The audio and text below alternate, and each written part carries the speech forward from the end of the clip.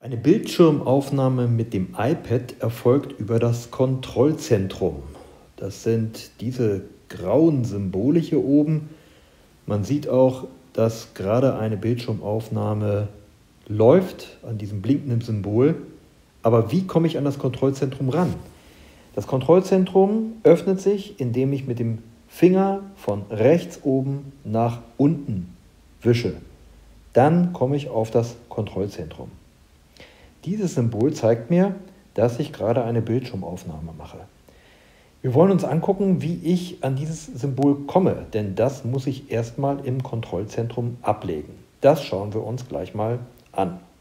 Zunächst einmal muss ich in den Bereich Einstellungen gehen, erkennbar an diesem Zahnrad-Symbol.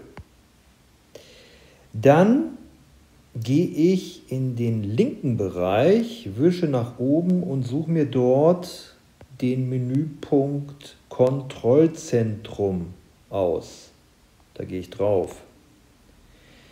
Dann gehe ich in den Bereich Steuerelemente anpassen.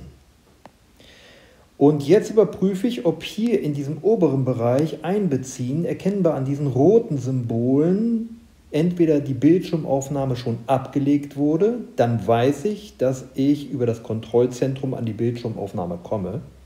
Sollte das nicht der Fall sein, überprüfe ich hier unten weitere Steuerelemente, ob die Bildschirmaufnahme hier zu sehen ist und drücke auf das entsprechende grüne Plus.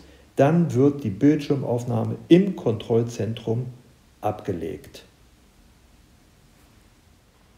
So, wie funktioniert jetzt eine Bildschirmaufnahme? Ich aktiviere das Kontrollzentrum, wie gesagt, von rechts oben nach unten ziehen.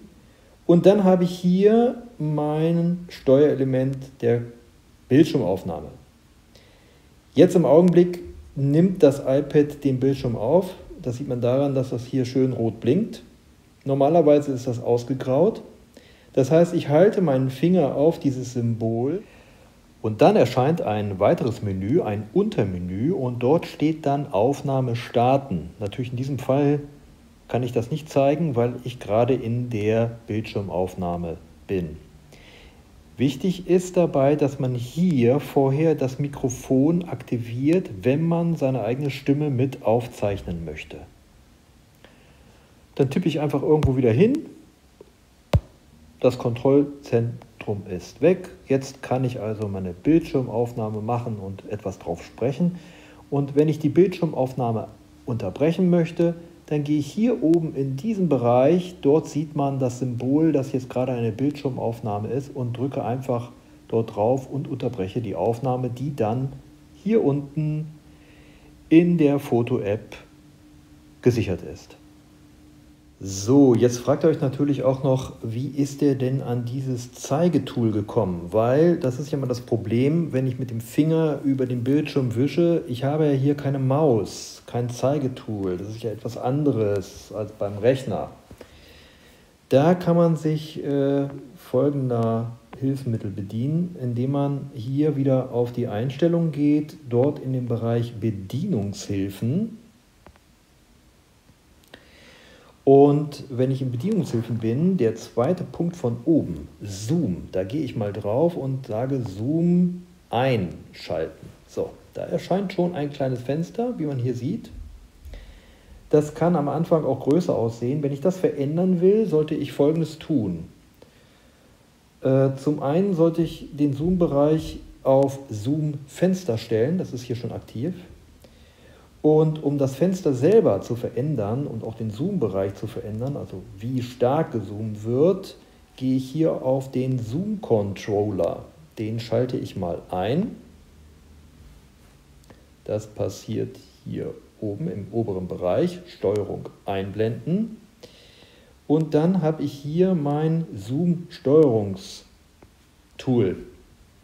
Ich drücke einmal auf dieses Zoom-Steuerungstool und jetzt habe ich die Möglichkeit, die Größe meines Zooms zu verändern, meines Zoom-Fensters. Ein erneutes Drücken auf das Steuersymbol sagt mir auch, wie stark gezoomt werden soll. Ihr könnt es ja mal hier angucken. Ja, da ist also der Zoom entsprechend größer oder eben halt kleiner.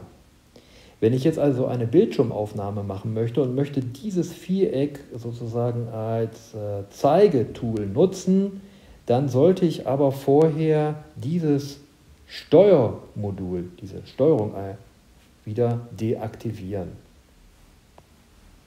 Jetzt ist sie weg und jetzt kann ich also bestimmte Bereiche deutlich machen.